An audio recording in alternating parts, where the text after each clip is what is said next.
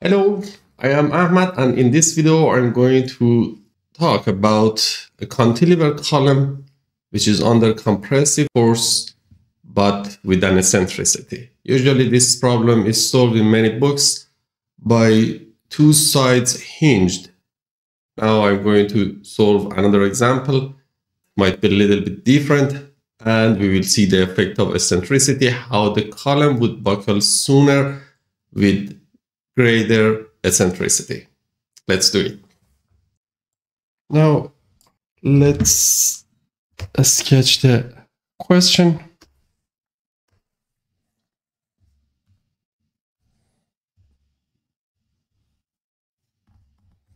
Cantilever column with the length of L with the force at the end, but with eccentricity with E. Point A and point B. And this column is with the bending stiffness of EI. Now we are going to calculate how eccentricity would affect the buckling. X and Y and we can sketch the deformed shape of the column.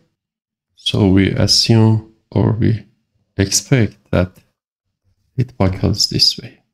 I exaggerated this.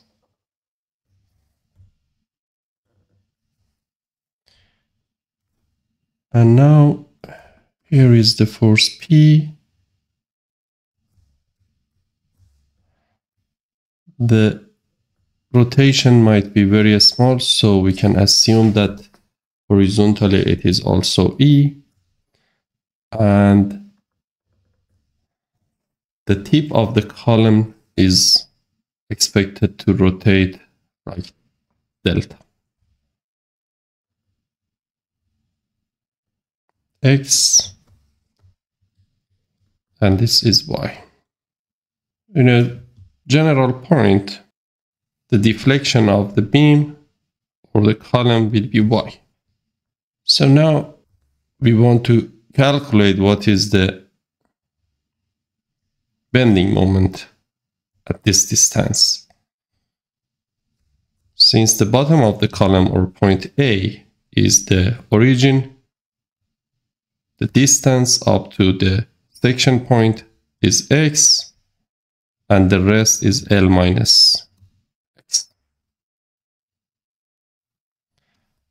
and also the horizontal distance between the section point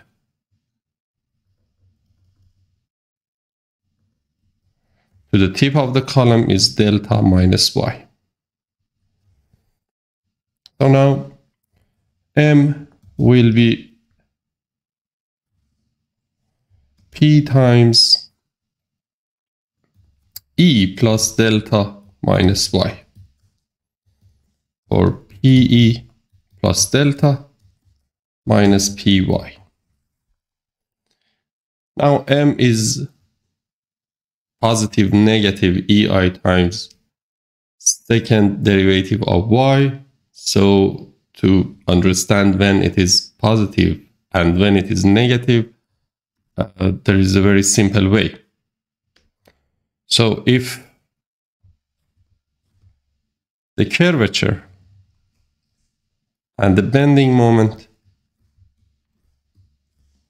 are with the same direction of the y, then m equals to ei second derivative of y. Otherwise, for example, if the curvature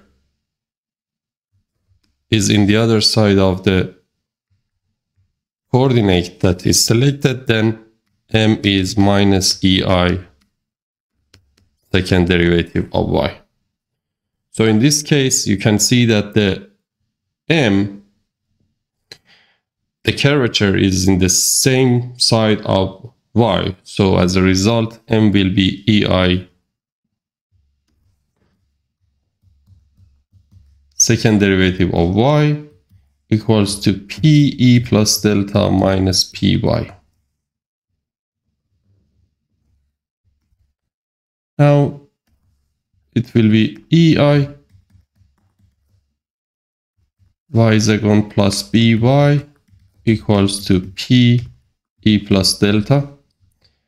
Y second plus p over eiy equals to p over ei e plus delta. And here I can assume that p over ei is for example lambda power by 2 then so I will have a second order linear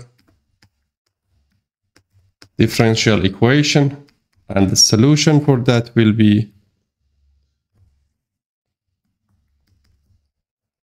a sinus lambda x plus b cosinus lambda x plus e plus delta. What kind of boundary condition do we have? At x equals 0, y is 0, and also the rotation is 0. The second derivative should be 0. So these are the boundary conditions. y at 0 is 0, and derivative of y is also 0. I can write also y prime a lambda cosinus lambda x minus b lambda sinus lambda x and at point 0 the first equation will be b plus e plus delta equals 0 then b will be minus e minus delta. So here a lambda will be 0 as a result a will be 0 now I can rewrite the deformation equation so y will be minus e plus delta cosinus lambda x plus e plus delta or e plus delta times minus cosinus lambda x plus 1 y equals e plus delta 1 minus cosinus lambda x. y at L will be delta, so delta will be e plus delta times 1 minus cosinus lambda L. So delta will be e plus delta minus e plus delta cosinus lambda L I can cross these two. And now from here, E minus E cosinus lambda L minus delta cosinus lambda L equals 0. Then delta cosinus lambda L will be E minus E cosinus lambda L. And then delta will be E 1 minus cosinus lambda L divided by cosinus lambda L. Or I can write it down as 1 over cosinus lambda L minus 1. So we know 1 over cosinus lambda L is secant. As a result, delta will be E times secant lambda L minus 1.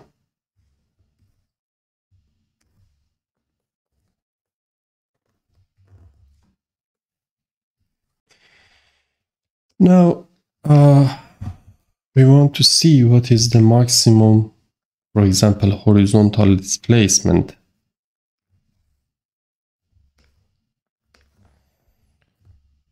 Delta was E times secant lambda L minus 1. And if we sketch our member one more time,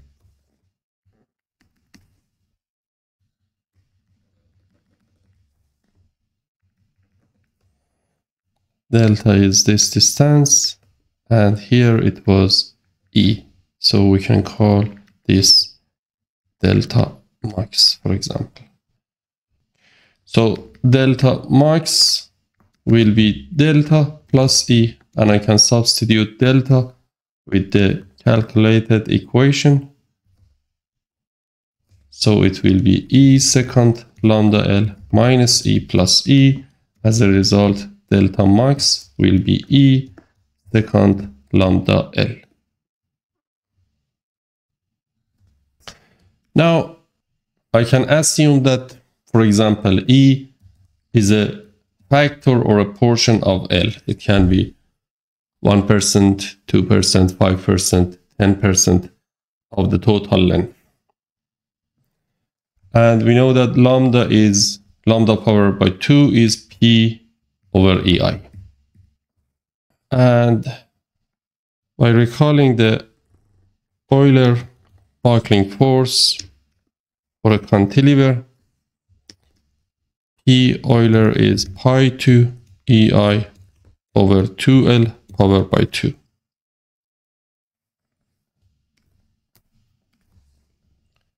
So then lambda 2 times L2 will be P L2 over EI.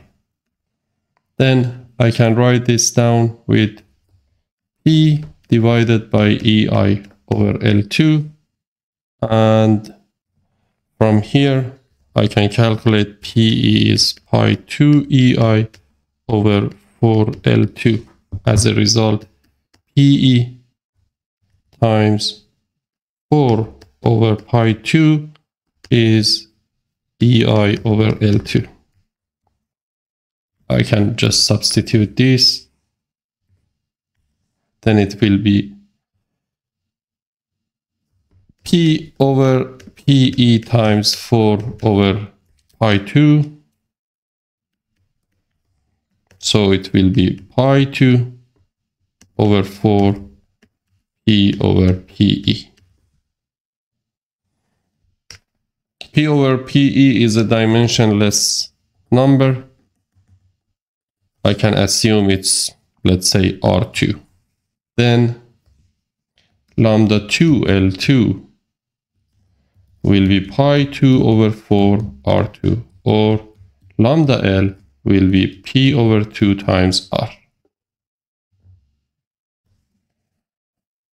If I substitute these two E and lambda L by the maximum horizontal displacement delta max, then we will have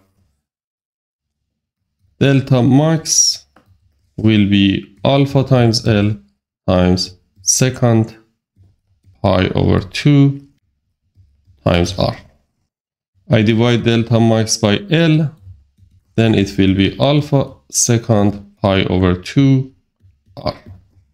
r is also dimensionless. Now I can sketch this to see how it looks like. I write the function delta relative as a function of alpha and r equals to alpha times secant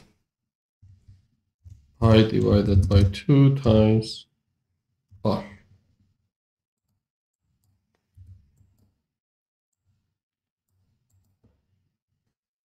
Now I can plot here from 0 also for vertical element also 0 and this one to 1 and this one also to 1 now here I can put R.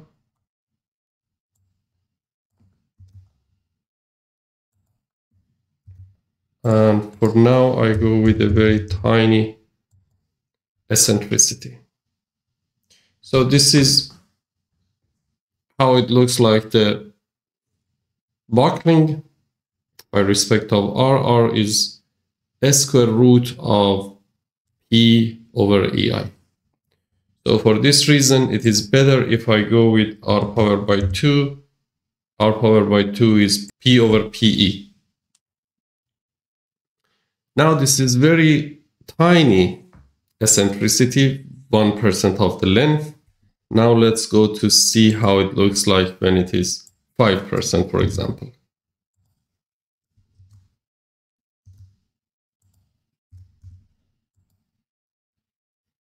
And, and also more. Here we can see that, uh, so the deformation is coming from the bending uh, at tip. The vertical axis now shows r power by 2. And here we can see that r power by 2 is p over p over e. And the horizontal axis is delta over L.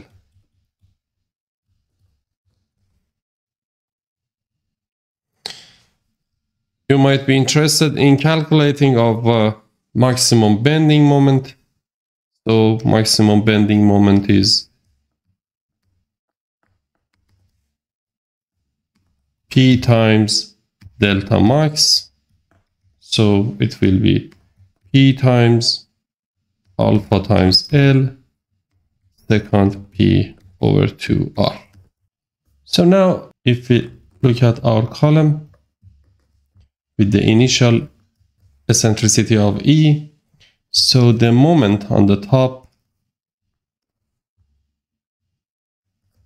is P times E. Alpha L is E so M max will be P times E secant P over 2R.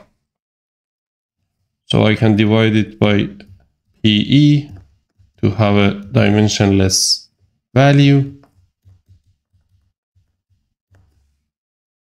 And we can see that the maximum bending moment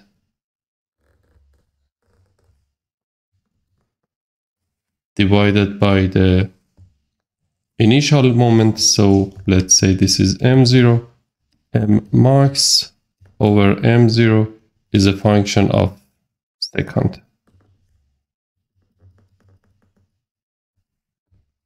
This is 1. Also, you might be interested in calculating of the maximum stress. So maximum stress is P divided by area due to the compression plus m divided by section modulus due to the moment. So sigma max can be written as P divided by area plus PE secant P over 2 instead of R. I can write down P over PE square root divided by W. And then, for example, it can be simplified by 1 over a plus e secant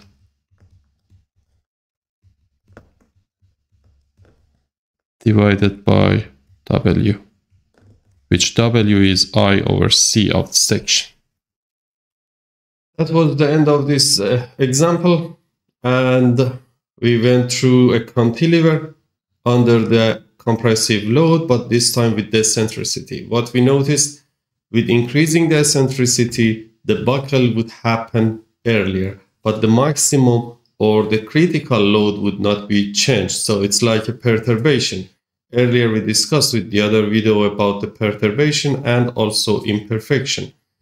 Uh, in this example, we noticed that with the increasing of the eccentricity, then the column would buckle sooner, but the maximum critical load will remain as same as when there is no eccentricity. See you in next videos. Thank you for watching.